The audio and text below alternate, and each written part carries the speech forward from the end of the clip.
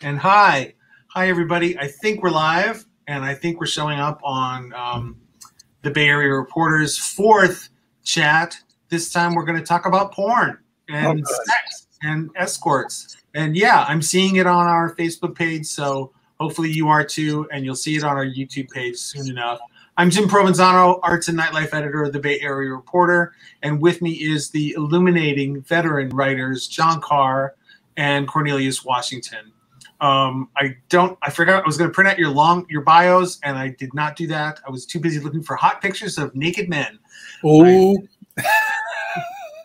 So basically, what we want to discuss is the context of how the Bay Area Reporter covered sexuality. That is from its very earliest days, as 1971, um, gay porn was becoming very popular. There were some hits like "Boys in the Sand," some feature length that that expanded beyond the loops that you can you know watch and hear about this history in the in the Deuce, that lovely miniseries or series. Um, but John, tell me. Let's start with you. When did you start writing for the Bay Area Reporter? oh. Um, I want to say 78. Okay. Could have been a year or two earlier. And how were things by that? Had you read the paper beforehand? Were you in Oh, the Bay Area? yes.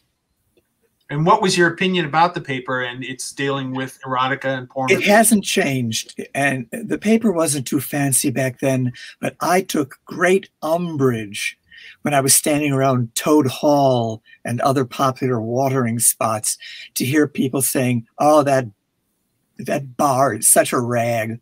They were always ragging. They never would call it the Bay Area Reporter. It was always the bar. to hate. and it was a rag.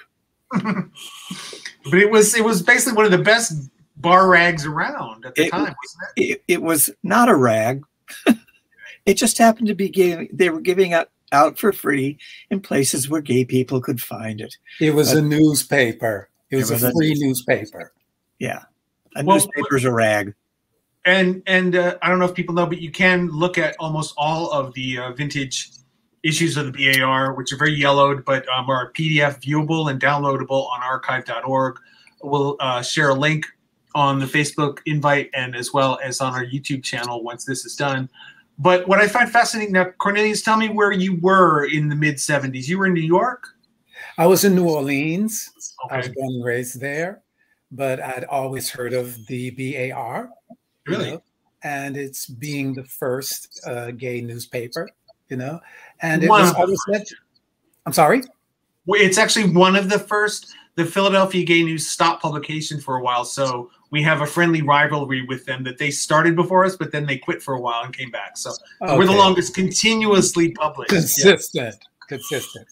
And um, I always knew that it was legendary. I mean, it represented the San Francisco culture, and I always loved it. I always heard about it. I always loved it. What image fascinates me? I'm going to start at the beginning and share my screen. There's a everyone be patient. There's a moment of of uh, the screen illumination window. This is a compilation of stuff from the 70s and nine and 2000s that uh, kind of stuck out. There were a lot of ads in the mid 70s, but in the early 70s there was a strange combination of politics and porn. Sometimes on the cover, the publishers wisely used a handsome man, a picture on the cover that led to a later article, but the real cover story was obviously about politics or crime or discrimination. Can you go back a page? Yeah. Notice how here we have porn corner. Here we have carnal. Oh, I'm touching my screen. On the color on the color yeah, on the color You need to picture at the bottom, it's Right, can you see carnal. my cursor? Yeah, porn corner. and in a black and white thing immediately to the left of sex pack advertisement there's another porn review that's labeled porn corner Yeah. we're going to talk about that Okay, because yeah, it, it changes over the years a few times, and this is one of your later reviews of uh, uh what is it? and porn corner had to be one of the early And Sean Duran, an interview. Now Cornelius, for those who don't know who are watching, um, Cornelius later was it 2016 I think started doing interviews with performers at the Nob Hill Theater, which obviously over the years advertised plenty and kept the paper thriving with large ads almost every week from the very Yes. early days. Yes. A joy. It was a joy to do. A thrill, yeah. To I wish I'd gone more often. And what we're also going to discuss are the are the notorious escort ads that featured and rose to multiple prominence and multiple pages over, at certain peak moments before being murdered by Craigslist and other services. Okay, so this is a very early BAR with Casey Donovan. John, would you uh, agree that he was the first great gay porn star? First, probably if close to it, if not it. Okay. And it was Boys in the Sand that Wakefield Poole really brought porn, gay porn into the kind of not the mainstream, but into legitimacy. Well, I would really, I would say mainstream, but Yes, I would too. perhaps legitimacy. It was reviewed. The movie was reviewed in Variety because it was running so long at the same theater in New York. Uh, so yeah, he opened the door. And that was the era where, like Deep Throat, celebrities would go for the cachet, the chicness of going to see porn, right? In the Porno theater. chic. Porno chic was the term. Like Andy Warhol and Bianca Jagger would be seen going in. I, re- I remember seeing these in People magazine going, What is going on in New York City? I'm going to go back and find out. So, um, this is also another feature, a big ad, a full page ad for the Idol. Not one of my favorites, but I appreciate it for its provenance. I I think there's another full page Idol ad where they quoted my review in full. Oh, okay. Now, this is another example of politics and porn blending in, a, well, actually, it's nude theater. There's Michael Kearns. Michael Kearns, who has a new book out, and Jack Wrangler, another classic epic porn. Now, this this is one of my favorite logos too. The curly BAR logo that Yeah. is very cute. Uh, we keep meaning to put those on new coffee mugs. I like that. I I, don't know like how long I can- of. I don't know how long I can keep this showing, but Grant Gordon Grant was one of my absolute favorites of the Ah. old porn days. He's also this is featured in Bob's Bazaar, which became Marcus's leather column, but was basically, as you can see, just a, a bazaar of all kinds of wacky things. Well, it was the it was the back section where you put anything that was sexual. Ah, So Okay. people who didn't want to see, we had complaints. I don't want to see that. The Opera House. I don't want my ad next to an ad for a dirty movie. Right. So all that stuff was in. It was Bob's Bazaar when I got there. Yeah, okay. And that was 78. It was like it looked like that. Now, this is 1978. There's a combination of ads and reviews in Bob's Bazaar that the Spartan. Did you ever ever attend that theater, John? Yes, How was it? How was it? on Mason Street, 150 Mason. I have no recall. well, it, it, I love the I love the graphics. I love the fonts. I love the way it loops around. And Brentwood presents Sex Pack. I can't remember if I've seen that one. I have. Really? I love the Brentwood series. Oh, Sure. I love the Deco Nob Hill Cinema font. You can barely recognize it, but you know what it is. It's it's very uh, classy. So your review co- uh, here, John, is one to see and one to skip. Sex Pack, which is advertised on the adjoining page. I think you liked it, but there was another one that you didn't care for. So these were a collection of loops, like Yeah. single scenes that were thrown together to make a feature. Yes, um, from a company that was the a progenitor of Falcon, Oh, okay. actually. Okay. Let's see. Here's some more. I think I passed the censors by covering up. There, there is a little bit of penis in there, Oh, sh- but even even if you blow the picture up full size, it's hard to see. hard to see. So Cinematachine, that was another like a, a club for watching movies. That was Hal Call's movie theater. Can you Yes. share a bit of his history, who he was? Hal Call was one of the founders of the Mattachine Society, Okay. And at a certain step of the way, they kicked him out. And he, he came to San Francisco, where he was very active in political and social welfare circles. Um, the Cinematachine was also a social center where homeless teenagers and runaways and anybody else could gather and not be kicked out for loitering immediately. I see. Um, it's also where he um, inveigled these young street boys into having their films taken jacking off. He had a he had thousands of movies he'd made, eight eight millimeter, three inch reels. Yeah, I almost screen capped the feature. I was scrolling through PDFs to get some more images just a while ago, and I saw the feature article of him with a wall of videotapes in Yeah. his home that were donated, hopefully, to I think the One Institute or the or uh, uh, I'm not sure if the Historical Society in San Francisco took them, but he was quite the porn collector. He was quite the porn creator, although terrifically amateur. Oh, well, you know that's a genre too that you covered. There Um, this, what's fascinating is that in these days, and I remember having a college friend show me movies in 1979 that were those 200 foot reels of like, you know, a five minute, a 10 minute movie. And this was pretty much, uh, other than like the nerds who had Betamax, this was pretty much the only way you could see porn was to go to the theater or to buy in the back of a magazine. You buy a, a film loop and buy a projector, right? Yeah. the Jaguar, and you would buy it here. No, they didn't sell films. I, I don't imagine. I like the creativity of these ads. The Jaguar a long-standing advertiser. Um, I don't know which one of them is still awake. And this is the era where, for some reason, they were pink pages. John, can you comment on that? No, I I can't. other, other to say that I had nothing to do with it, because had I been there in an editorial capacity, I would have voiced a complaint. Yes, you would have Uh. I I guess Bob Ross liked tinted pages. Well, I'm trying to remember if this was when the Advocate also had its pink pages. When it was, Ah, it was a large format out of LA, and they they did what many others did is they pulled the sexual stuff and the escort ads and the personal ads Yes, into a dropout section that was literally pink pages. that's a likely explanation. and they maybe they tried to mimic it. So what's interesting here is that Falconhead, another you know trippy hallucinogenic porn classic, is advertised next to on the right Joe Gage's El Paso Wrecking Corps, his early trilogy of working class realism verite style. Um, truck which- stop porn.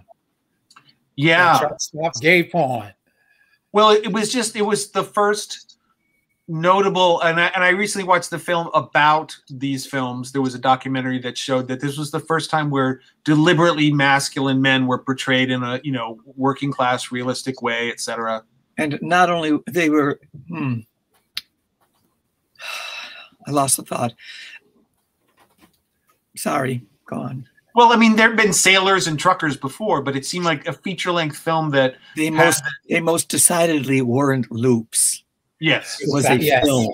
that was the the point. Yes. There was a narrative. They were fre- frequently that and uh, Pacific Coast Highway, etc. Were literal road trips. Road Yes. trip films. Um, And there was an age dynamic because Mm. what the subtext to the films were. I just read an interview that he did to Butt magazine like four or five years back. mhm. Subtext is usually gay men are introduced to gay sex by someone working class and older. I vote for that. Yeah, and so that that was the subtext of it. That you're gonna, you know, if you notice in the films, it's the young hitchhiker or the young new trucker learning the ropes from the older guys, and they get to this truck stop to have a bite to eat, and in the restroom is a little action, etc., etc., etc. You know, and they might be gay, they might be straight, but they're demonstrating gay sex. Right. It was men who having sex with men. It wasn't gay, like rainbow flags uh, kind of gay. Although And- there and- Go ahead. And it was like a, it was also a critique against disco culture. He literally said that. Oh, oh that- really? that as far as gay culture was concerned, it was disco. Huh. And I laughed at that because that's kind of homophobic, you know. And so that was a reaction to everybody wearing Pierre Cardin three piece suits at Studio 54. You know, here's the situation where the real thing was going on and it was homo masculine. It was going on at the truck stop instead of you at 54 with Bianca Jagger, you know, Right. doing the bump of the hustle. But at the same time, Fred Devereaux, is that how you- he was doing urban t- urban stories were being told too. They were they were you know at night at the Adonis. There was the one performance that took place at the Gaiety. There was still urban stylized stuff with this. There was, a, there was a real split between East and West Coast pornographers. Yes, Um, yes. uh, other than Higgins, other than Bill Higgins, who was making, you know, Pacific Coast Highway, Pretty Boy. Um, in New York, things were grittier, just as New York is a grittier city.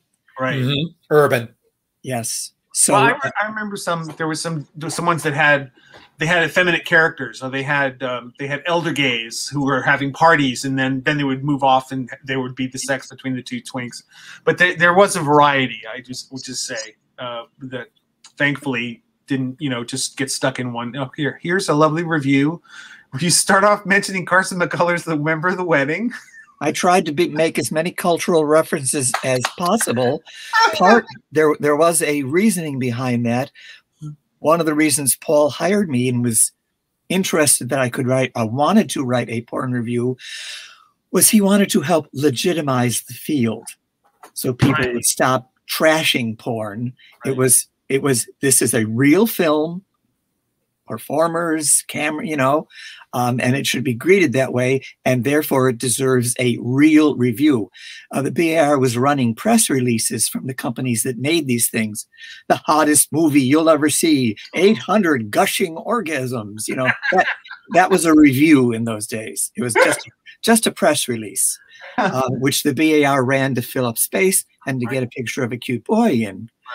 And I came along and started writing what I hoped was a real review, but I like to bring a real outside review. references.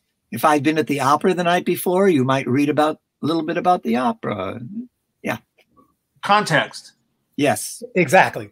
Exactly. And the wonderful thing I love about your writing, John, is if you are passionate about knowing the construction of film, your column explained it.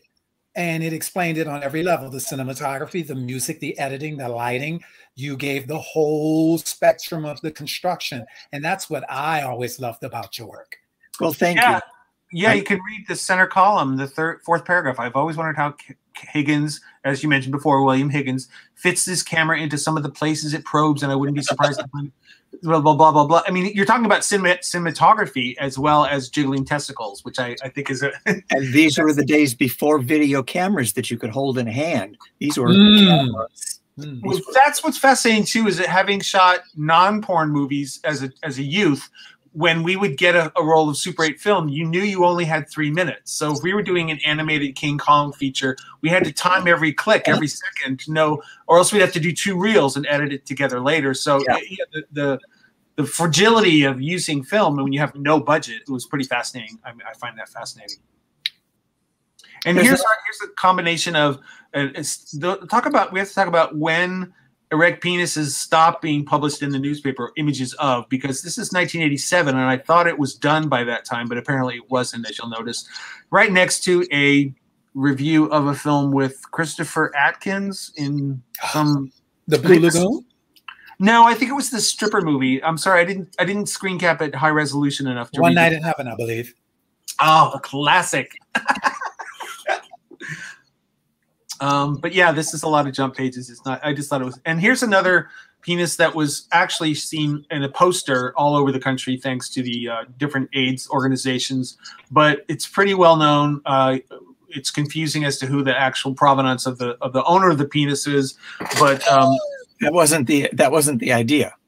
No, it was, but I, I remember someone showed who it was later. Uh, Yes. can't- we're not showing that, but but it went around everywhere, and this was like long after genitalia was stopped being shown in images. Even though uh, you can see on the left, the escort ads and masseuse ads started to go up around the time of AIDS. People were looking for alternatives for pleasure. I would say. Anyway, one of the high points of the SFA Foundation was showing that, sharing that poster. So here we have now in the back of the of the book, as they call it, the sports column generally got shuffled along next to the escort ads. So physique and shirtless men and women in, in bathing suits that just kind of mixed together in the back of the first. It really should have been in the main section, the, the, the main body of the section. yeah, but well, you mean the news section? By the time I started, No, no, the enter- the the arts and entertainment section, but not in Bob's Bazaar. Right, right. A little confusing through the 80s. Um, the the sports section went to the back of the news section by the time I started writing my sports column. And I, and this ad I love. My God, I mean, it's just 37 different fonts. It just explodes with Texture. extra. It's got a lot of extra. Yeah, yeah. Whipped cream wrestling. Can't can't say I would have wanted to witness that. Although maybe 12 boy dancer. It's just it's just so exciting. It What really. year? What year was this? This is June 23rd, 1988. That makes 80. sense. That makes and sense. they're already saying it's their 20th anniversary. Nob Hill's been around. Yes. Since 1968. Yeah. Wow. Yes, because when I when I came to San Francisco, it was there, and that was 1968 and a half. Wow. Okay. Did you go there? Oh, that was the first thing I did. I had read I had read John Rechy's City of Night Of Which- course. several seasons previous, had caused quite a storm, Yeah. and uh, among other things, it is it's a map to gay life in San Francisco at the time. and it New told Orleans. It And told you where the uh, hustlers congregated on Market Street, Oh, Florsheim Shoe Store, and it told you uh, what parks because his his protagonist went to all these places. right. So yeah, so I knew about the Nob Hill. I knew about the Strand Theater, and I went right up to the balcony. Wow. Okay. No, there was no Spartacus guide, or or or at the time, there were there other guides other than fictional ones that or neo fiction that Rechy did. There weren't. um there I was thought, there, I thought there was the Bob Damon guide at that time, but Damron, the Damron guide, maybe. Damon, yeah, Okay. We're still in 1988. This is the expanding escort ads. This is only two of four pages in that issue of. you couldn't get away with that, but even with a star these days, these days you couldn't get away with that. I think the guy on the second page in the upper left under Silver Fox, just above Silver Fox, he advertised for like 20 years and he never changed his photo. Mm. He's still around. Good for him. Yes. Aussie lifeguard. Who wasn't one an Aussie lifeguard? Goodness, that's now. This is an odd. Con- Will Snyder wrote this. Can you can you remember anything about this feature article, John? Oh, well, I have a feeling that he wanted to meet Leo Ford, who was living in San Francisco with a pornographer by the name of. Yeah, that's his name. Okay. What, was- what was his So name? I can't remember. He put out many, many magazines were published of his movies. It would be easy to find out if I went to the other room and looked at them, eh, you know, uh, That's or maybe it'll come to me. okay. He he made a star out of Leo Ford, who you see there, um, and shot all over San Francisco. And I guess our lovely, um, I think Will was the editor at that time, Okay. Wanted to meet him. And so he did. Well, this is the 1988 Pride issue with the graphics on the upper left. Tell us. 88. Will was the in 88. Will was the the sports writer. Okay. And the powerhouse was a mere three years old. Now we're in 89 and uh, i did not contact i did not scan a lot of you can look at our aids panel from last month to see a lot of the coverage that was really pretty fascinating um, but what we're not seeing is the juxtaposition of this expanded sexual commerce that really grew uh, in terms of advertising dollars as well as obviously editorials or advertising space in the newspaper can you talk a little bit about, or did you talk to Bob Ross about this acceptance of sex work that other publications, except the aforementioned Advocate, pretty much spurned? Um, no pun intended. Um, why do you think Bob was so sex positive? Uh, he hired a lot of the masseurs, and also thought of the paper as a progressive place. He allowed um, the arts editor, actually Paul Lorch, this guy was editor of the entire paper, um, news as well as the entertainment section, and this would have been among his purview to insist that sex workers are, are legit. Mhm. And It's to, and fascinating. to, and to Go an ahead. extent, that makes sense. I also know that um, a lot of people wouldn't advertise if you had sex work. It was a very daring, you know, editorial decision. And so I just thought it was extremely brave and extremely romantic for me looking at it, you know, because uh, in fashion, I know that a lot of the fashion people by 88 were blowing up Calvin Klein, Ralph Lauren, Yeah. etc. And uh, they were using those bo- those escort boys too, Leo Ford in particular. He was very uh, go, go go ahead. He was very popular for Oh many yeah. no, years. he was a doll. He looked. He was a doll, a little blonde Yeah. doll. And so um, that was the, the running subtext. Still is actually. What, what, what I think is a fascinating juxtaposition is the presumption of the paper being later on politically moderate or conservative compared to you know full-on leftist magazines like Outweek, where I worked in New York. That this there's you know four pages of sex ads for for escorts, and yet they're considered it was considered a conservative gay newspaper, which I find absurd. That's that's part of the reason they were at the back. Um, Bob Bob got in a lot of Bob had political goals. He wanted he really wanted to be a supervisor. Oh right. and he and he worked hard at that. But professionally, he had been a chef at a very popular restaurant, and many of his close friends, the other people in the eating business, bar, uh, the bar owners Mhm. and restaurant owners he knew, were vehement to him about getting rid of all this sex. They were scandalized, but Wow. they came out of the 1950s, and you could expect that. Yeah. That was their. So I give a lot of credit to Bob, although it was Paul Lorch who really did it. Oh, okay. But Bob he, really loved when the hustlers came in to place their ads. Oh boy! gotta- are we going there? We got to go there. Okay. Yes. So, so th- let me explain and you can extrapolate. So Monday noon was the deadline for these massage and escort ads. So I worked at the paper from 1992 to 94, and then came back in uh, 96 as a freelancer. So I missed it, but dozens of escorts, some of them big, hulking, muscular guys, would come in with like crumpled bills from go-go dancing or whatever by Monday at noon, and everyone upstairs in the editorial offices would just suddenly have to go get another cup of coffee Yeah. and peek out from the, the barricade and look and see who was which whores had washed up on shore. That's my recollection. Go ahead, guys.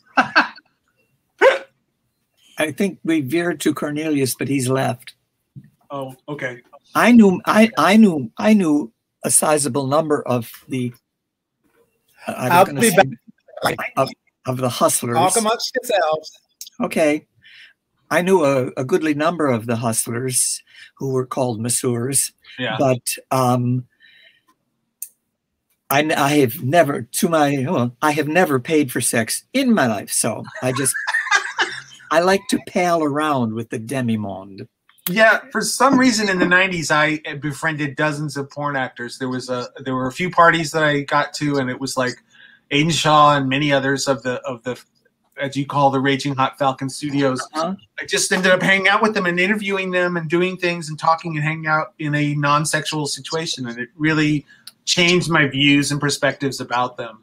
Yeah. Uh, It was that happened to me too. Um, I worked with a lot of them as a dancer.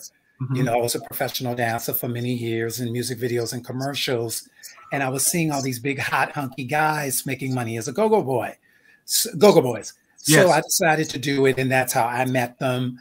And then one of them recommended that I start writing for Unzipped. I had already had a column in a couple of gay magazines, and so I made the political editorial decision to go into erotica and that's how I became friends with a lot of them. And then my work with the Nob Hill Theater just continued that.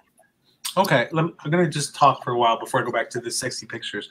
So that that that's something too that was fun. Um, a little reminiscence that my fascination for go-go dancers is that I, believe it or not, 30 years ago and 30 pounds lighter, I did that a few times. I've had a friend who I used to costume, uh, Jake Corbin. He wanted body painting at a Fire Island benefit once with Robin Byrd as the MC. We love her. Bang Your Box and the Robin Byrd Show. So our connection through like act- AIDS activism, ACT UP, and go-go dancing led to porn because these hustlers were always happy and willing to dance and strip for money and raise funds. And Jake was one of them. And I would paint him different colors. Once was uh, red, white, and blue glitter for Fourth of July on Fire Island. Another was he wanted to be the Metropolis robot for um, some uh, for some reason, so I did that. But um, he was adorable Did you because do a Keith Haring uh, homage yeah, too? for the for, now this is legendary for the Grace Jones benefit at the Palladium, honoring Keith Haring with you know the Palladium had that huge mural of Keith on the back wall. Grace was of course four hours late, um, but Jake was decorated with black Keith Haring paint, and Blaine Mosley, who was an African American in ACT UP, he was painted with white, like Grace in that vampire movie she was in. So those two, and there's no photos. I've never, I begged people in the ACT UP group, like, where are the pictures? Because it's like the 30th anniversary of that event last week. Tom Keene, one of the alumni, shared the poster, which is great. But we, no, who was this? Why weren't people taking photos of this amazing night? Anyway, who cares? It's all history. So what I wanted to um, touch on, I'm going to go back to the slideshow, is the transition when there was still escort ads. Let me share the screen again. Can you see just the? Can you see the ads now? You're not seeing the infinity. Gorgeous. They're gorgeous. That this transition to phone sex, where actual sex, due to the AIDS pandemic, even into the 90s, we still had about four pages of, of phone sex ads along with regular escort ads. Um, I just wondered. I thought it was fascinating because we also had the bar talk personal ads that I had for a few years had to edit. How did your coverage of porn shift during AIDS, John? Well, I certainly had to pay more attention to safe sex. It got mentioned a lot, and I gave some. I gave it some publicity, but I was not going to use my platform to proselytize. So I kind of just went on reviewing movies as if it wasn't an, an age of an epidemic. Hmm. Um, so I didn't there- change too much. Wa- wa- Was there a period where you just started mentioning that men were using condoms? Yes, oh, you, yes, actually, I did. Um, I tried to be instrumental in persuading gay men to wear condoms. I felt strongly on the issue. Um, and I would rag the studios. Um, I won't mention any names, but Falcon, who, who were, who were among the last porn producers to put condoms on their performers. Right, right, Uh, yeah. Chuck Holmes didn't believe that anybody would watch condom porn. Wow. Uh, so yeah, they and the were one of the- subtext meaning that he would lose money. Yes, And the subtext of money. yes. Yeah, I remember they were they were late in, in in applying that, and then but then there was also kind of smaller studios of those that were specifically visualizing them, like showing how to put one on, et cetera, Oh kind of instructional angle that some of them took. Um, Bending over backwards. or forwards. Yeah. Chris Duffy. Look, let's look on the lower left. Chris Duffy is he is he still alive? He was huge. He He was one of those was. guys who would come in and in the office, in the front office, and just take over the whole little lobby. He was so enormous. He made some movies. He made quite a few. Yes. Yep. Loved him. Yeah. And then here we are. We're moving on to 2000. And John, you got to be on the cover of the Arts and Entertainment. Look what's growing out of Tristan Paris's armpit. I don't remember him, uh, his oeuvre, um, and I didn't get to read the text before scanning it. What was the interview about? He had gotten very popular, and I wanted to meet him. Okay. When there's an interview in the paper, it's basically me wanting to meet somebody. Yeah. Oh. Um, t- I- I was fascinated with who becomes a porn star, what is their background. I, I found that uh, many of them had perf- legit performing backgrounds. I can't remember this guy's name. He was one of my favorites. Um, he had been a Shakespearean actor. Um, w- with a master's thesis on Shakespeare. You know, so all sorts of people were involved in porn, Still are.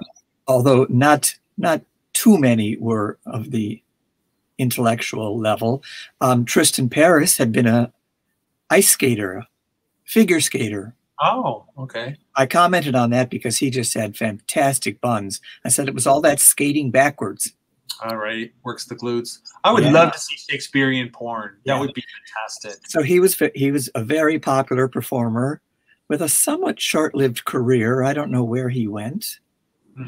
um, but yeah, And this is I'm diverting into 2001 with one of my sports columns that what kind of politely I called sporn, where I would comment on the eroticism of athletics. And what really stuck out for me was this box of a video game. I forget what it was, Serial or something with Jeff Gordon in a silver outfit, and the bulge was clearly photoshopped to make it look like a lot more than he had. oh, you think?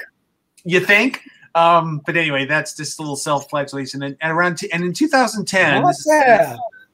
We started the, the porn reviews and the sexual content again, like the like we did with Hunt magazine and, the, and Out Week in New York in the '90s, like the Advocate did with Advocate Men and their pink pages before that. We decided to move the nightlife stuff into an own little mini magazine, Bar Tab, oh. which actually started in 2010 and was a monthly. I soon realized that covering nightlife on a monthly basis was difficult, except for those who were organized enough to prepare their nightlife events a month in advance, which is limited to very few nightlife producers. However, one of the favorite things that I took pleasure in doing was visualizing go-go dancers, and I'm going to have to move abruptly on away from that photo. I think. Wait, wait, I was Wait, looking. wait. This is wonderful. Joshua J presents. It was a, a, a, particularly Midsummer's Night lascivious- Dream. This this was published in the papers. So in that issue, the January 2011, you can look for it on eBay. But what I loved about doing the paper was I got to know photographers like George Lester, who shot this cover, and also I forget the photographer who shot this, but he should be given an award for because that that event progressed on to more carnal level that could not be published, but uh, there's evidence.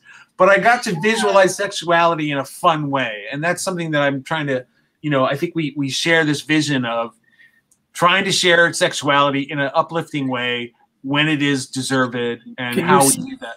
Can you scan a little bit further down the page so we can see that black and white photo? No, I just did a half of the upper half. Sorry, Because you know who that is. That's, Who of is course Debbie Reynolds. Yes, Debbie I- Reynolds and Bob Fosse. who you're comparing in a porn review with with Seth Tre- Seth With Tres- Broadway. Well, Seth Santoro. He changed his name later on, and Billy Santoro. Yeah. I Uh, wonder why. Oh, well, there. That's a whole story we don't need to go into. But he Yes. turned out to be a bit abusive. But yeah, I loved how you and I got to edit this and format it. How you contextualized Debbie Reynolds and Bob Fosse in a porn review. That's again another show of of, of clear cleverness and genius. And your Well- column, of course, by this time was called Karrnal. No, it wasn't. That's that happened that week. I didn't know. To look further down at the pictograph. Says Oh, Karrnal yeah. knowledge. the icon. Yeah, But Yeah. did, did you think that up, or did our former arts editor Roberto? Karrnal Freeman? knowledge. Yeah. Uh, it was Roberto who made those little pictographs. What No, Adrian made the pictographs, but Roberto Friedman thought them up. Right. Yes, yeah. Okay. Uh, Every every writer got one for his column. Right. Uh, and the name of my column didn't change. Okay, because Adriana, uh, the the famous mashup DJ, created them, and Kurt and Kurt uh, Thomas and um, Scott also furthered them in the same genre. But they pretty much Adriana wrote the template. And this is what I love. I can't really zoom in, but you just see there's a plethora of of uh, stuff from the January 2017 Karrnal Knowledge column. Lots of butts. We try to get as many butts in as possible. I yeah, I remember. Look at the two guys semi hugging each other in the very middle of the page. Yes, yes, Since I couldn't show the goods, right. this was a scandalous photo because the goods were touching. If you had any sort of imagination, that's the sort of picture I grew up on, the 50s porn. oh, of Mm. course. You know, it you were uh, if you weren't wearing a posing strap, Right. they couldn't show the dick. So Yeah. th- this was oh, that's a mind blowing photograph. if you know that context. I'm in, I'm into Ace Era in the Union suit. I, I have a particular interest in that that subgenre of holiday fetish. Anyone Yes. with a Santa hat is suddenly sexier. And here's another later interview with Cornelius. I forget, I couldn't find your first column, but this is an early ones, Cornelius with Seth Santoro, who has who was performing obviously at the Nob Hill Theater.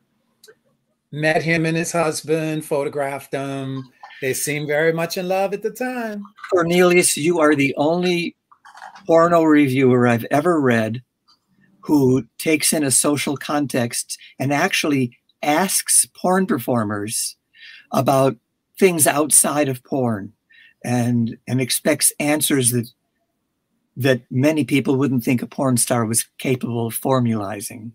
Well, what I, the subtext of that is because of you and your work and people of your generation.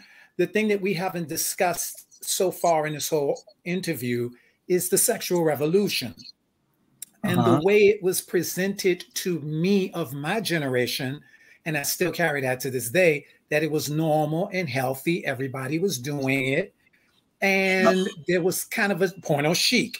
It was a part of lifestyle. So, how I always saw it and continue to see it is from one end, it's lifestyle, and the other end, it's a performance aspect. And so I blend the two.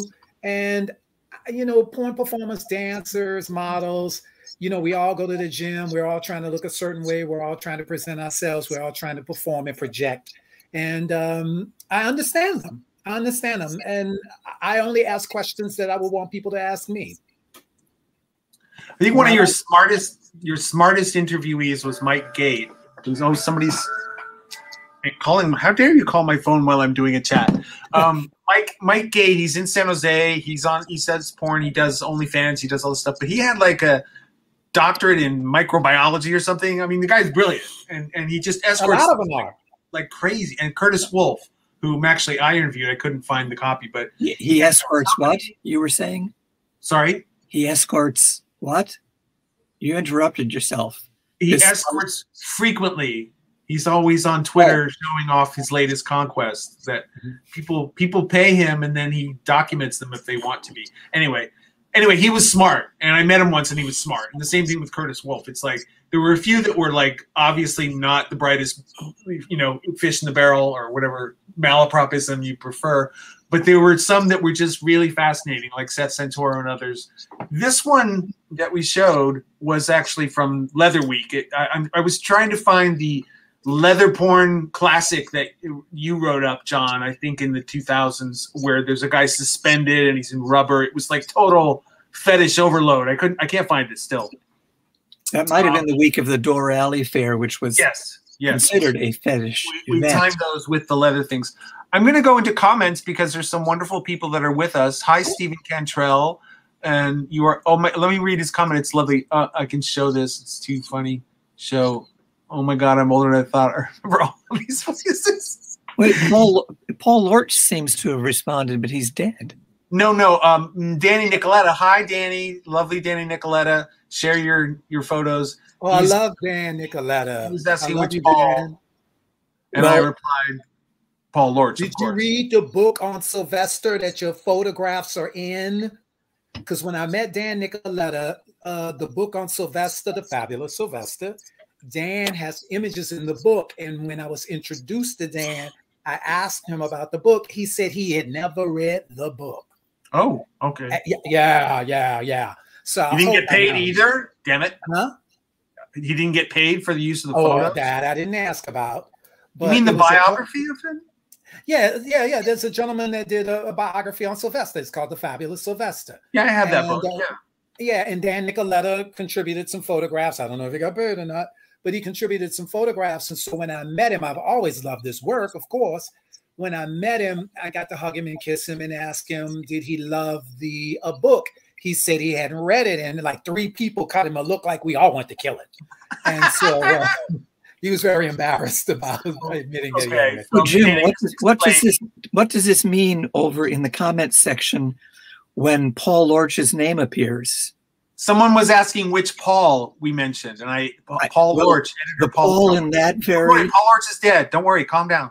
Okay, that's it's, that seems to be Mike Yamashita. No, it's just Michael's face as the uh, the YouTube the YouTube identity of the Bay Area Reporter. When we were God, in order to get 100 followers and to get your own unique URL that says Bay Area Reporter, you have to have fulfill certain things. You have to get 100 subscribers. You have to be online for three months. And then we kept doing that, and they said, no, you can't get your own URL yet, meaning your web address. And it was like, why? It's like you need a face profile. So we just threw up Michael Yamashita's face. let, me throw, let me throw this out right quick. Dan, oh, I need you to photograph me later for social media. Would you photograph me, please? And I have I a question. You. I love Dan. your work. this is out of control. I have I a question it. for Dan. Wait, he says in the commentaries section, um, he only read the first chapter of the Sylvester book, but he has a valid excuse. Well, what? What? You can't drop. What was the excuse? He got paid. He got paid. He said he got paid. He said he got paid. Yeah. I can show the chat. Uh, you mean you don't have to? Chat, you don't have to read a book if you've been paid for your contribution to it. No, you don't have to look at it again. Or you know all those actors who are in TV shows and never watch the shows. yeah. Okay, John, look at the screen. John, look at the screen. Danny is responding. If I would come visit with him in Oregon, yeah. He, I think he's referring to me being photographed by him if I moved, if I went oh, to you go to Oregon, not me. I want to go too. Anyway, let's get back to porn. Yes. Um, okay. Love you, Dan. Mark, I wonder if Mark can comment on his men. We have to do a whole chat about the, the men behind bars thing because he did so these shows, and we have actual. Well, you can just watch the videotapes. I'm going to add, go back to the funny pictures, and we did Seth Santoro. This is one of my favorite columns by you, John. From 2017, stocking stuffed holiday homoerotica for your naughty list. Oh, picture books and such. Yes, yes, quite quite the quite the festive array. It was quite popular with our readers, as I recall. Well, I, am very big into comics and cartooning. I uh, was the first editor to actually hire a cartoonist. We had a weekly strip that ran for some time, a, a plot. So uh, I got my hands on all these illustrated books.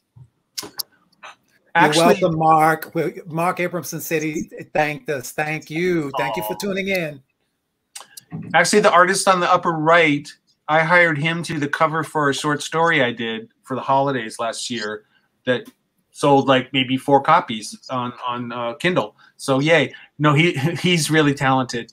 And here's another interview of sorry bad scan. Uh, Cornelius interviewing Sean Duran. Very he used to be a real twink actually a long time ago but he has evolved over the years. He certainly has.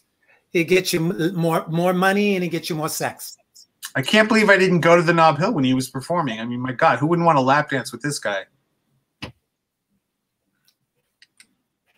And this is my one of my other favorites. I just love it, love it, love it. I contacted Jack Vidra and said, you, I, I need an unusual photo of you. And he either already had this or he just had it taken um, by this photographer, but I love it because it's about gingers, it's about redheads, and he was one of the popular performers and you did a great interview. I just love the graphics for that. This is when we had the luxury of three sections in the newspaper, arts, news, arts, and nightlife. They have since been absorbed the last two sections. Well, that all depends on the amount of advertisements one gets. How big well, yes. the paper's going to be. Yes, we were down to like 12 pages per week during the bad worst of the play. And there's Sean again with the other Sean, not to be confused. And you notice how the uh, escort ads have been shrunk down to a, a mere quarter page because everyone's using RentMan. Well, you could go online and find a decent amount. In, that doesn't help us. no, in the within the BAR personals. Yes, yes, there's more there. Now here's a this is a quality interview. Jesse Coulter is quite one of those smart guys in porn, right, Cornelius? Yes, yeah. There, you know, a lot of them are brilliant, and what it is is particularly with gay men, um, the evolution of them exploring all sides of themselves to become their best selves. And a lot of gay men are self-created on every level. Mm. You hmm. know, a lot of you know, like straight people just do what they've been acculturated to do, you know, get married, have kids, etc. Right. And the whole aspect of gay men being single and kind of the subtext of getting a good education to make money to live the life you want to live outside of prejudice and and you know scorn And so these people become these super people. And their sexuality is a part of it. And it's also cultural, in as much as you know, you perceive me as a porn star, as this icon in the community as far as this representation of male sexuality. Mm. And then have the intelligence to go with it, the sensuality, yeah. the intelligence, the, the je ne sais quoi. But uh, the, this is a fascinating subculture. I did an article for Bar Tab about the number of kink.com gay feature videos that had been shot in gay bars. Pretty much all the bar owners were afraid to, you know, even be quoted when it's really easy to find them and to know that they were shot in the bars. I mean, Paul was okay about me talking about truck, and uh, the manager at the lookout was okay with that. Um, and you can see Van Darkholme on the lower left here in a picture. He was pretty much the guru behind um, the you know the the, the location based porn features that Kink did uh, outside of outside of the castle, the armory. Genius. And he was yeah. a hot model. He was a hot model. Well, he got oh, and it, yeah, in the early days too. Yeah, definitely. But what I found so fascinating is the theatricality of this porn. They were they were so high end when pretty much everyone else was doing you know low budget home videos. There was a whole undercurrent of that beginning until they kind of had to stop because Kink moved and left town and all these other you know things happened. But Jesse Coulter was one of the main uh, you could call lead actors, main characters in many of these videos with all kinds of, well, not to my taste, but some fascinating knot work and rope work. Um, but the, my favorite quote, I'm going to try to read the right in the middle of the page is what are some of the biggest misconceptions about kink and its and its and its fans and his quote jesse says that we're all crazy sex fiends who hurt each other kink is made up of some of the most wonderful, kind, and caring people. It's very safe and quite enjoyable. Well, that's a little facile, but uh, I think it says a lot. And, and oops, sorry, we missed one. Here's a nice guy. He was at the Nob oh, Hill. I love him. Dante? Yeah. You he's know, he's short, he's short. Yes, yes. He, he's he's what you call a pocket gay. Yes. That's right. Pick him up. This was also promoting not not Nob Hill, but the the local version of the Hustler Ball held at Dance House out in the way out in the avenues, or not in the avenues in uh, China Basin or whatever it's called now. Dog Patch? I don't know. Anyway, he was performing in an orgy. Good for him. And this is another lovely, lovely column by John from 2018 the, about the the romantic aspect of this series, featuring one of my favorites, Ben Brown. Yeah, Ben. Can we can we get Mark Abrams' face off the page? How Nothing. can you see his face? How are you? Why are you looking at his face? Can I see, see him obscuring. Oh, I see. Oh, I'm sorry. I forgot to uh, take him out of. Nothing against Mark, but no, sorry. That's all right, baby. I'm you want to see the other stuff? You want to see the other stuff without Mark's face? There you go. There, yes, there's a dildo. Oh, oh, oh, you just passed up a good one. Yeah, no, we already saw those. Um, I'll, I'll scroll back. We can that one. That one.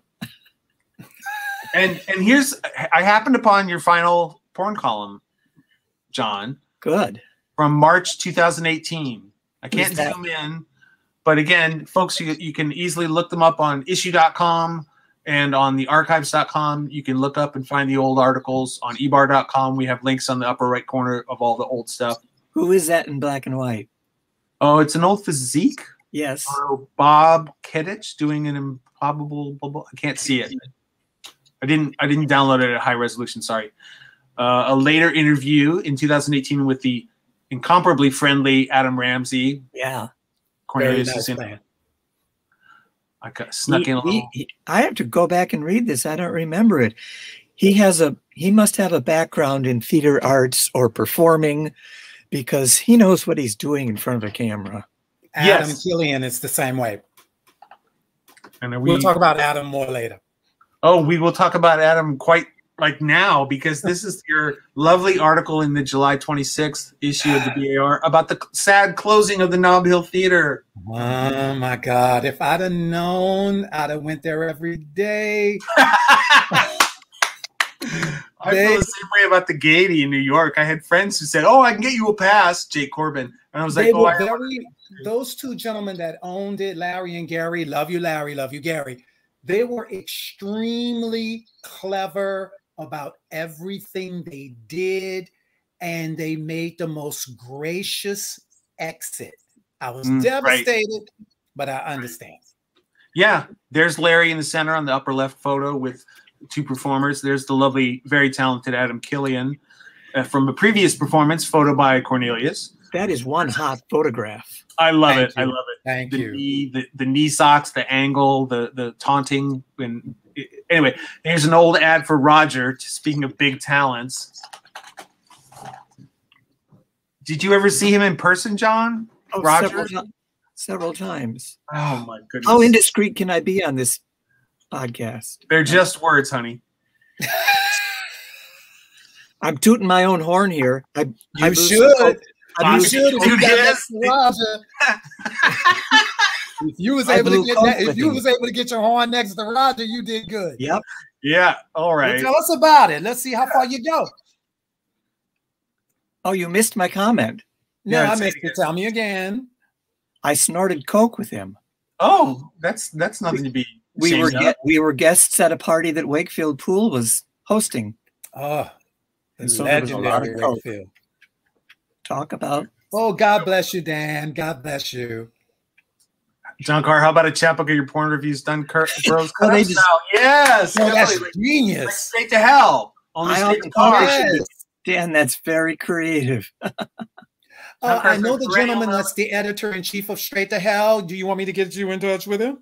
Ward McDonald's dead, but the new straight to hell. Yeah. Yeah, yeah, yeah, yeah. Of course, of course, of course. Yeah. Definitely, John should be the next grand marshal of the parade. Thank you, Mark Klein. This is a good friend of mine. He's partial. Yes, he's also prolific in in with with Lavender Lounge. And he's a yes, he's a very he's with the sisters too, or was. Let's He's he's very um prolific and creative and supportive. That's the word I was I looking haven't for seen you in most of all. 3D in so long, Mark Klein. I'm looking forward to that. Dan Nicoletta says, but Karr and Jim are welcome. Let's make a porn film. Actually, if I can toot the horn, go ahead. Talk about talk about snorting coke with Roger, John. That's the story. That's it. Yeah. All right, all right. He was he was a dud. He was a dud.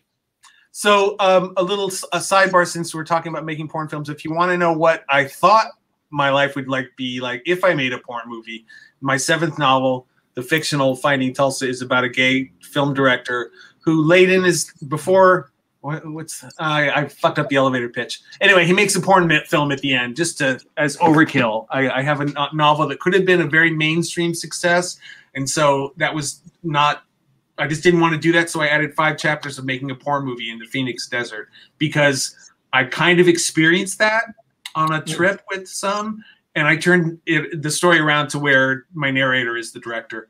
So thanks hmm. to all the guys who participated in the real version of that. But if you want to know why my interest in porn lies, it's basically that I threw it together in a novel that is worth every dollar. Thank you, Palm Drive Publishing, which also produces porn. That's why I I chose. love Palm Drive Publishing. Somehow I Love can't them. see myself having sex with Jim.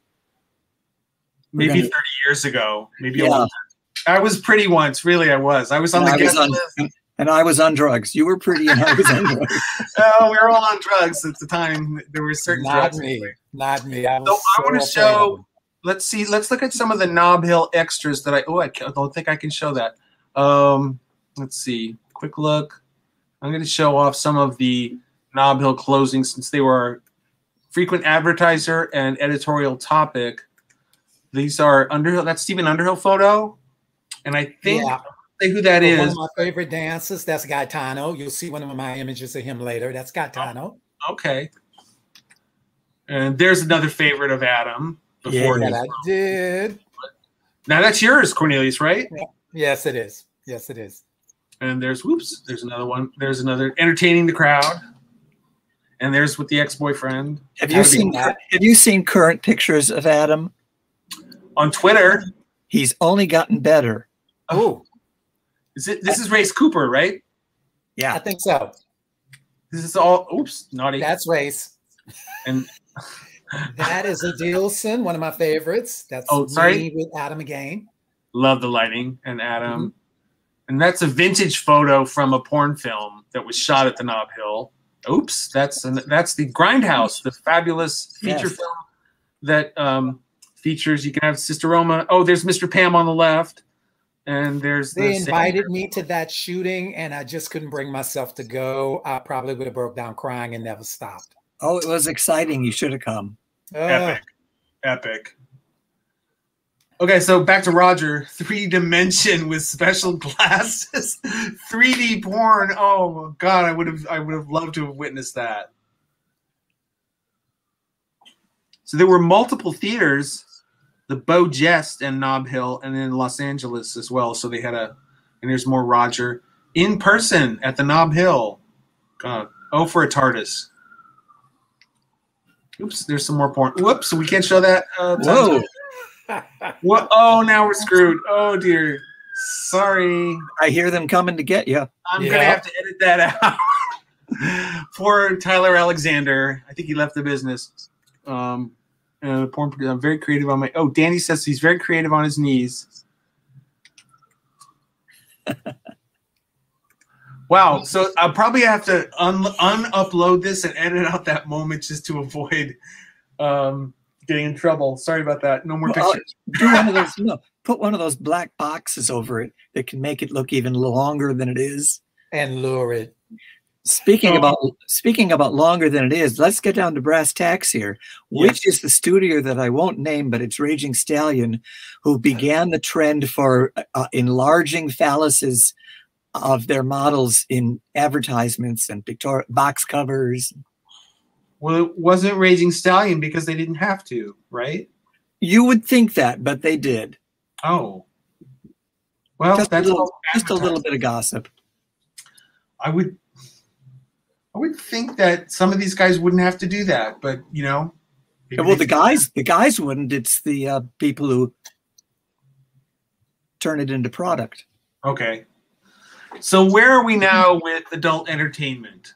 Can you pontificate on what you think should happen or what is happening that you think is good or bad or TikTok or New Tumble, all these all these other old, new outlets? You want to go first, John?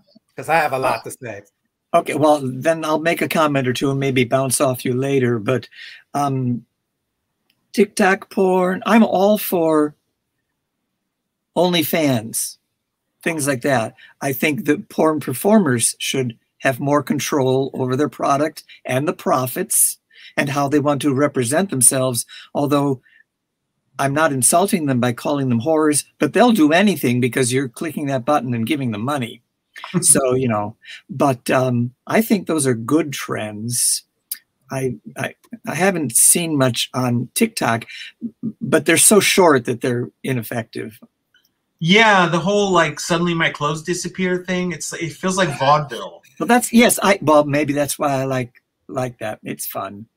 I it's think like porn, vaudeville on your iPhone. when porn can come out of the shadows of an epidemic, it will take the same forms it's always had. Which is I, basically just. I'm Go ahead. staggered by the the diversity.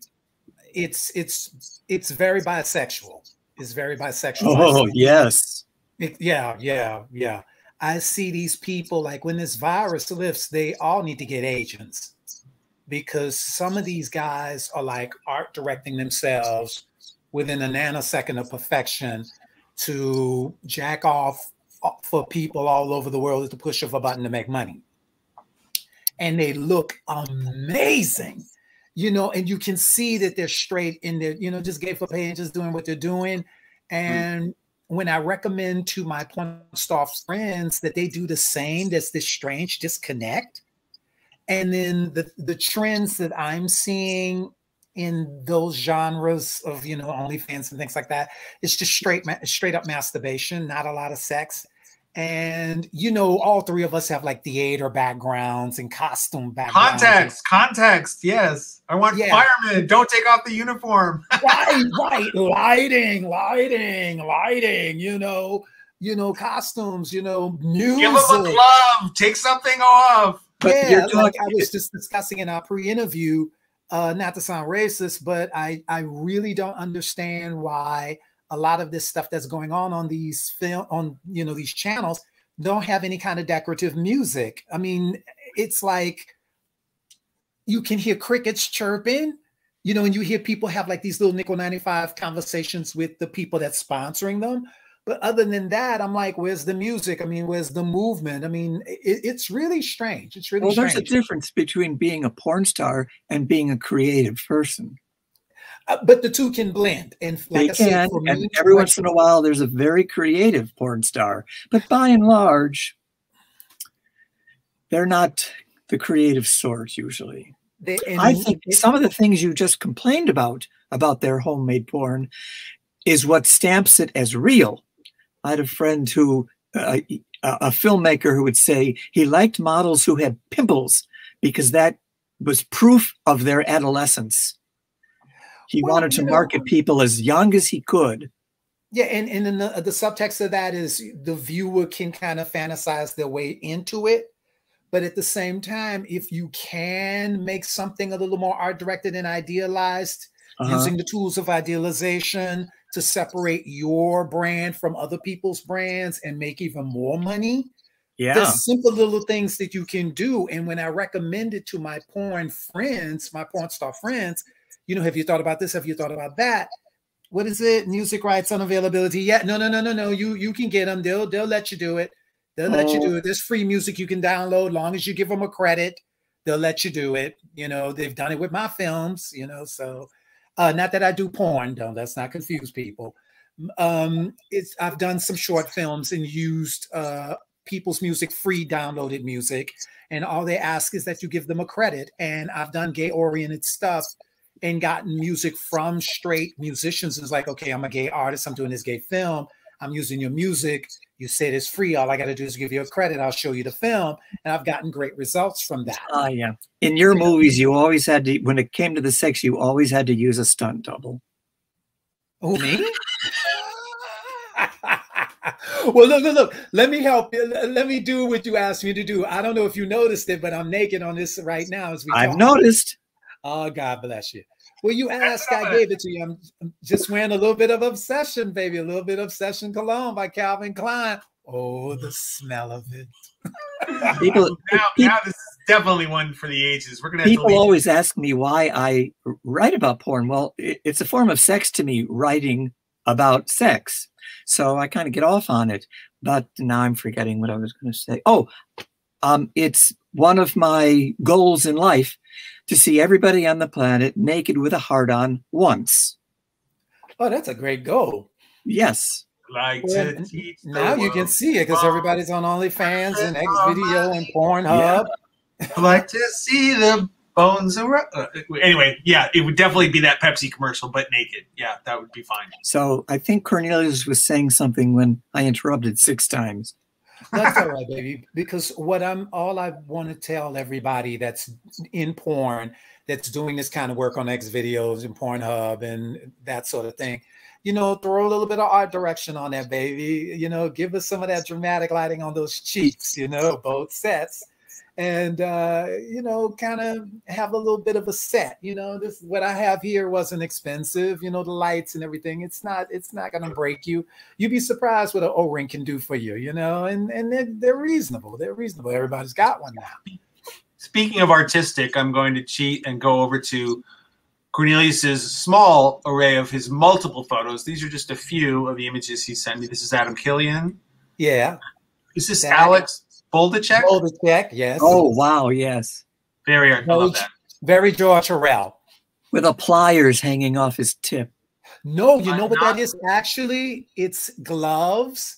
He's mad for gloves. If you read the article I did on him, he's crazy about gloves. And so those gloves You're right. black leather gloves, but they only have one finger, like the penguin in the Batman movie. like a flipper with the one index finger. He fell in love with those gloves. No, I would not let him have the gloves. The hat is mine too. Next. Okay. And the tattoo in French, "Me libère pas." He told me, and I've forgotten. Okay, something about I'm I'm not free without something else. So that's Gaetano, my favorite house dancer, the black one that I told you about before. That's Armani Exchange underwear. That's real celluloid film swirling around his loins. and that's at the theater with the dramatic lighting. And that's my fa- one of my favorite images. I call it my version of the bat signal. I should have used that for the cover of my seventh novel. Oh well. Let me know. that Special is Poppy Poppy J. He's a Latino boy. He was like the last dancer they hired before they closed it. He was Oh. only there like maybe two months. He made a ton of money. That's my luchador mask and wrestler's robe. And I wanted to show the more melancholy side of the luchador culture. Oh, And it's okay. much, yeah, because you know how it's very colorful and they're very manic, but a lot of them have a lot of injuries and things. And so for the culture, they give their bodies up for their people. And then the bling on his uh, side of the mask, that's a little trick that I do in my camera. And it's one of my favorite images. Oh yeah, because it, does. It shows a different angle uh, to the Thank wrestling. you. Uh, that is Adil San Carlos, one of the house dancers, an actual model, real fashion model. Uh, I remember I shot him uh, for Milan Fashion Week. I did some images and he sent them in. That is my unicorn head. Target sold it that year during Halloween. Tarjay! Yes. The shoes are his. And, you know, just that moment before he went on stage, that moment. You go on stage always- with the unicorn head. Yeah, yeah. All right, get that furry fetish going on. Yeah, and he made tons of money. He made tons of money. That's that's amazeballs. That is a house dancer by the name of Tattoo, fresh out of prison.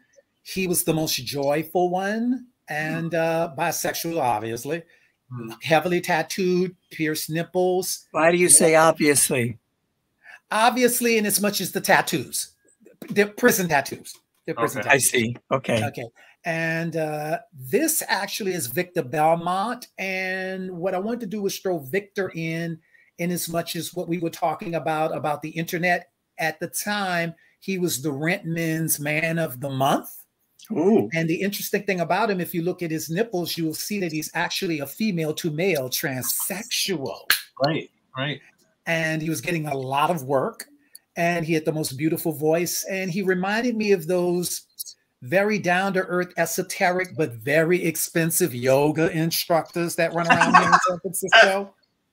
You know, but the thing that moved me the most about him is most of those female to male transgenders, they have the most beautiful voices and they almost sound like they're speaking in stereo. It's very beautiful, lyrical. He was he was very thankful. I ran into him in the powerhouse and was very uh, approved. I said, "Hey, thanks for doing the interview," and he was like, "No, thank you," and you know all this publicity because we had never. I don't remember ever seeing an FT uh, female to male transgender porn interview, and Victor had done several, but the paper had. So you broke another boundary there. We did mention uh, in our tech run, John, that you did review lesbian porn. I couldn't find. I didn't have time to find a screen. I. I did. I felt, well, I had to get the women into the paper somehow. Um, so I They really, it. I really did look around and ask ask people. So I interviewed one uh, gay woman, and and that was very nice. And then I found this other woman, uh, whose name, of course, I can't remember. She made arty but still very erotic photos with people you wouldn't expect to be porn stars.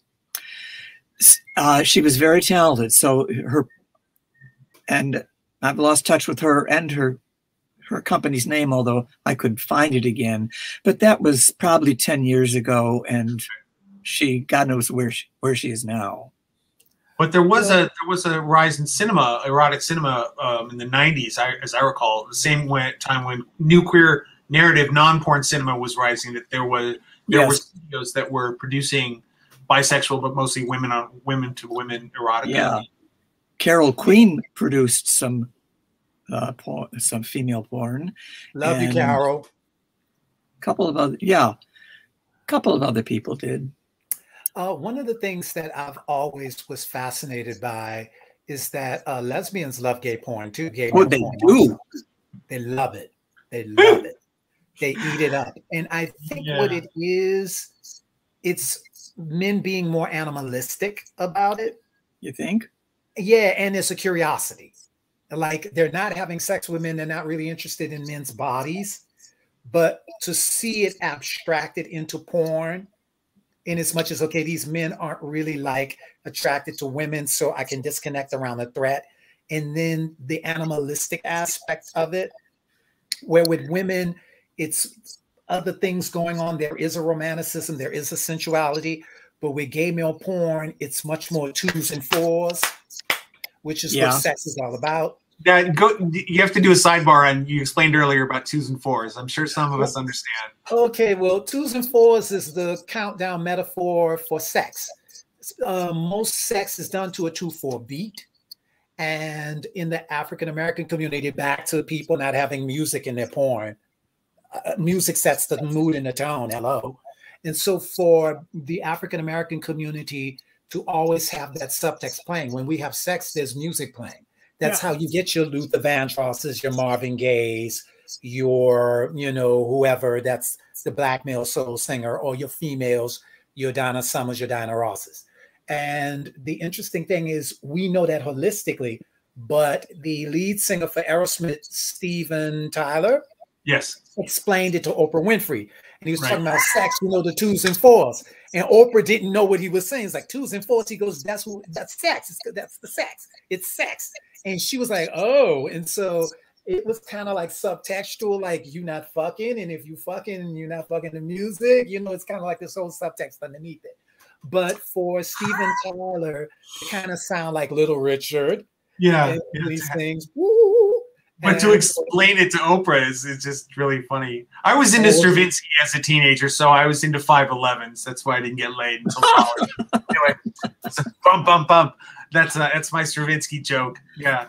Uh, what do you see? Um, I mean, we mentioned earlier about the future, the current state of porn. It seems to be it, it's it's just exploded and disintegrated in terms of studios, but there's still they're still cranking those scenes out. Uh, uh, what I found very oddly disturbing was, I mean, you know, I'm all for whatever, you know, gets your boat up, but the scenes where the men are surreptitiously having sex in front of, like, at the bridal shower or the baby naming, the gender reveal party, um, getting caught seems to be the only thing they have left. Sex and Well, it's it basically only one studio that's doing it, men.com. Yeah. And to me, they're horrid and repellent. Okay. Because it's the whole derivative of the not in front of my salad moment. They realized they had a hit and they seem to be consistently just trying to bank off that since then.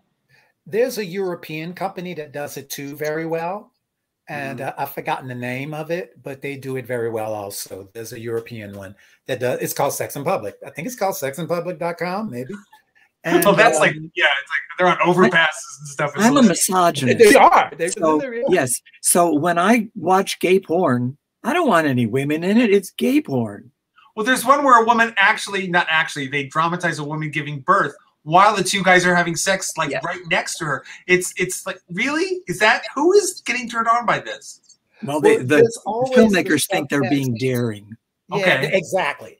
There's always that subtext of them wanting to do it because gay sex is supposed to be verboten and uh, forbidden and so this whole sort of subtext of them doing it in public spaces where it may be uh, like culturally unacceptable, like this woman giving birth.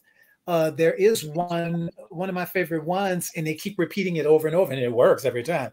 Where the uh, husband and wife are moving, and one of the moving guys is gay, and so while the wife is backing and forth and with the boxes, the husband and the moving guy are fucking, and then she interrupts it like, "Where? What are you doing? Where are you going? Where's the moving guy?" He goes, Oh, he's probably by the truck. Why don't you go out and see it? And the whole time while he's talking to the wife, the guy's ass fucking him. It, it, it's, you know, this whole sort of culture of gay, white, cisgendered men having this forbidden sex right. around women and calling themselves getting away and with it. A big part of these movies seems to be that the guys are discovered and the women are horrified. I watch a lot of bisexual porn, two men and one woman and nobody's scan you know it's not a plot point.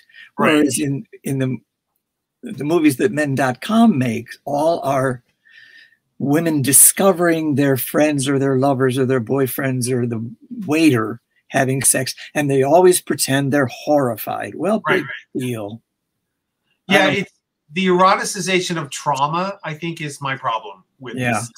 You know my basic problem is none of them can act Well, It's- that It's yeah, the funniest trauma they're having. harshly lit as well. You don't see No, it as the- I- camp. You don't see the camp value. I see it, but that's not a turn on. That's Is ridiculous. that why you go to porn to see camp? you know, You'd be if I want camp, surprised. I'll watch like the stuff set in you know the the Bow Chicka Bow Wow of the seventies. I'll, uh, the soundtrack is just so you know to watch an old cult video by a It's poolside. so that music is that's camp enough because Yeah, it's retro. it's so, and it's so sexy.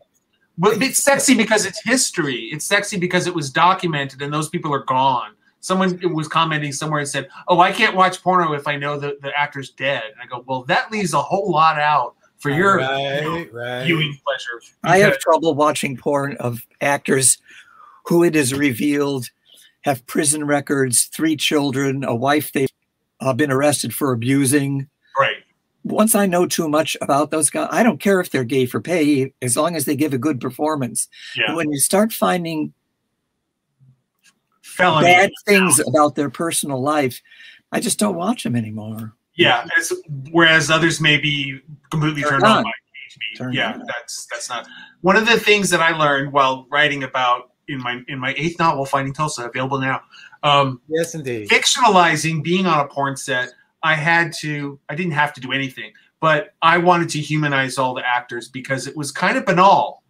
Being on a porn set really like didn't turn me off of porn or sex. It just made it perfunctory, just like the music videos I, I, I worked on in the 80s, just like anything else Yeah. the business. But these home shot stuff, it, it, it's strange in that they're so consciously now aware of the camera. There's a there's a, a kind of a shared voyeurism where where they they are the master, they're the owner, as you said before. They've taken control, but it's a very different genre. It's a very different look and feel when it's just oh here we are in a B and B in Palm Springs. There's no there's no setting, there's no context, but at the same time, it's like you said they've they've self empowered, they've self monetized. So good for them. So that's sexy. Is seeing guys who are like, hey, let's just have sex. There's no narrative, there's no music, there's no. It's just us having sex, and we're all on prep. So yay! But what I didn't understand was how the hell they were all having sex during a pandemic. Well, you know, uh, a friend of mine that we did an article on about uh, the history of the BAR1 ads. The Yeah. porn star's name is Jared Erickson. Love you, Jared. He and I have discussions about exactly what you just said. And what he's telling me is that they all make sure that they are completely healthy. They Okay. all make sure they're all kind of friends. They all have each other's phone numbers and email addresses. They all, yeah, yeah, yeah. And they get Hub. together They have and their make this. Of, oh, yeah. Exactly, exactly. And that's how Jared tells me that he does it. He lives in Atlanta, like right outside of Atlanta, and they're just now starting to open up the bars and things. And so, and he's telling me that's how they do it. So I'll tell. I have to tell you two things, um, because I want them on the historic record. So researchers in the future, because I'm not going to write a tome. Did we already talk about Chuck Holmes and who he would or would not cast in his films? Oh, Let's please, do please explain that I think we did that earlier in the day. in the No. pre-interview. Yeah. Okay, well, he would not hire for many years. This has changed now. Of course, he's been gone for some time. He would not put in his films scenes with tattooed people, people who were redheaded, and people who were African American. His loss. He said he said it was it's too hard to light redheads. You can't like them. You can't. Well, that's not right. And he just didn't like tattoos. He thought it marred the body, and many people do think that. Um, Still do. As for, as for blacks, well, Well, you, you know, if you can't handle black sexuality, then don't shoot it. I would rather you not shoot it than for you to make a half-assed attempt and then black people feel like, what the fuck? You didn't Yeah. know what you were doing. and he's not making it for black people. He's making it No. for the white um, Male fetish gaze. one. Right.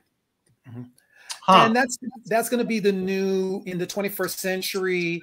That's going to have to be the the major discussion around porn, the Uh-huh. diversity of it, the whole spectrum of it. And that's what the Bay Area Reporter has always been about. Like one of the articles I'm working on with Jim is this uh, documentary about black men in gay porn, how they're being accepted or not accepted, how they're being cast, not cast. And it's going to be an exciting article, John. I can't wait for you to read it. So, so I uh, was very friendly with another studio owner who used black men in his casts fairly frequently, but not always. Mhm. And he said, "Well, it depends on who's buying the stuff, because it it might be very progressive of you, to, you know, to film people with hair lips or no, uh, or you know, whatever. You got to sell. But if it's not going to sell, he's not going to make it. Well, that's So- the that's going to be kind of like the subtext of the article that I'm writing. Is that um, just a little little taste? You have to be aware of your market and then Yes, know what you can do within that market that works for you, that keeps your conscience clear as a black male performer. I've been Uh-huh. asked to do porn, and I'm like, that would confuse so many people Mm. because the way I present myself and the way that I want people to see me as a sexual being is going to cause such a disconnect. Mm. Because the way we see black men, particularly black gay men, and the way we see them and the way we want to be presented and the way Right. we want to express ourselves as far as marketing and advertising, there's work to be done, a lot of work. Oh boy. Yes. And the other, I, the I can't wait to get into it to help people with it. the other point was um, I've been on many shoots, porn shoots, although not for 15 years now. So uh, this bit of information may be out of date. But as two or three performers came out of the men's room with erections, the publicist for the company bent over and said to me, uh, "We don't mention caverjacking." and I knew what? he was telling me he was telling me that I could not uh, write about it in my articles. It was an unspoken thing. Many performers said it. It's a shot in your penis. It gives you a four-hour hard-on. I was always was- curious as to whether pill. what You just take a pill, right? I think uh, Caverject was more effective, and I think pills were not as available at the time. Okay. All right. Wow. I knew some go-go boys that did it. Yeah, Just get a rubber band. Cock ring. cock ring. Oh well, that's a lot of behind the scenes stuff that we we're we're we have one minute yet to go uh, for our 90 minute program, but we can certainly talk more offline. And you're all welcome to offer your comments in the comments section on our as this is archived later on our YouTube channel and on the Facebook page. Thank you both, John and Cornelius, for a sexy, fun, open, honest, and in- incisive discussion about the history of gay porn sexuality as covered by the Bay Area Reporter and elsewhere. one one more, one more. John has an epilogue. Come. The BAR has a history of porn review before me. I did not create the field. Don McLean wrote some porn reviews. He was better known as a drag queen named, eh, I don't remember. And he was on uh, All in the Family. Yes, he was on All in the Family. The Twice. TV And show? And there was somebody else, somebody else who wrote an actual review of porno before me. So I didn't, I didn't create the field, Right. certainly. But you certainly were the, one of the more prolific uh, in the field. Yeah. Oh yeah. Enhanced and extended it. well, thank you both Okay. again. And uh, yeah, Thank look up those old me. BARs and uh, your comments and, and uh, Shannon, Mark Abraham, Mark, Right. Ab- Mark Abrams says. That's who it was. Lori Shannon, who was also in. Let me show that so we can all remember that. Google Lori Shannon. We also have an article about Lori Shannon and John McClane in one of the uh, uh, uh, historic articles in the, on the website ebar.com. Look for the paper coming out. Subscribe to our YouTube channel if you like as well. Thank you everyone for sharing, and uh, I'm going to edit out that wiener pic of Tyler Alexander as soon Put a as. brick over it. Come on. okay. Elephant face. black elephant boxes trunk. are so black boxes are so sexy.